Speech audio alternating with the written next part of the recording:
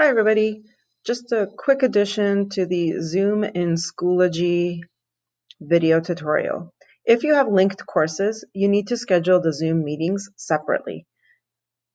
When you go to your materials and click on Zoom class hours as directed by the previous video, what you'll see is that your linked courses show up on the top left as for me. For example, I have period five and six linked.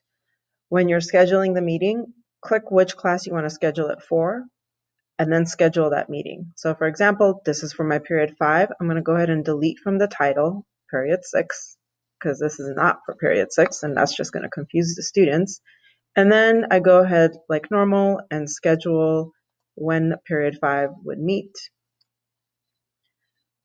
I'm going to pick at 9.30 a.m.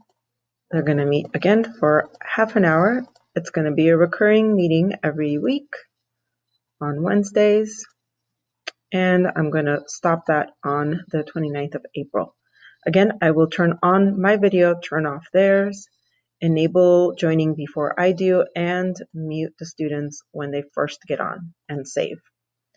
When you save this, you'll notice that if you go to period six,